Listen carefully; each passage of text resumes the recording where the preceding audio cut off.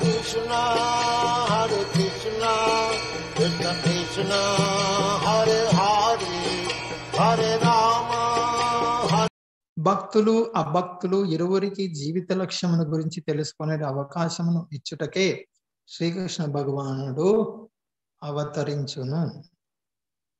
ఆ దేవదేవుని దర్శించుకొని అర్చించుటకు భక్తులు నేరుగా అవకాశమును పొందుదురు.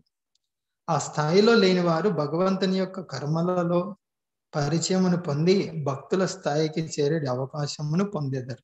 ఇక్కడ రెండు ప్రయోజనాలు చెప్తున్నారు. భగవంతుడు ఇక్కడికి రావడంలో ఉన్నటువంటివి భక్తులకు అభక్తులకు. భక్తులకు ఏం ప్రయోజనం?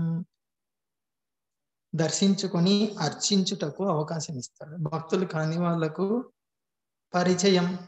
కృష్ణుడి గురించి దేవాది దేవుడు ఈయన గొప్ప గొప్ప దేవాది అంటే గొప్ప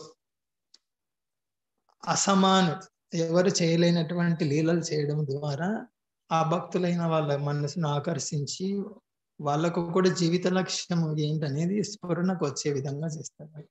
సో భక్తులకు ఆ భక్తులకు ఇద్దరికి కూడా ప్రయోజనం కలిగిస్తుంది భగవంతుడి అవతారం.